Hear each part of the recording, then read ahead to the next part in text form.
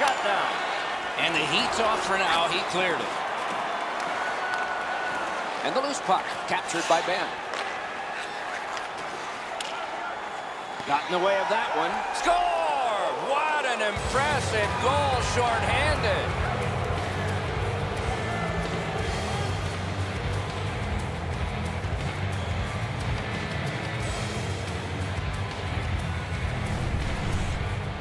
The penalty killing team actually looked like they were trying to score on this last shift, taking some chances, and they're rewarded with a big-time play.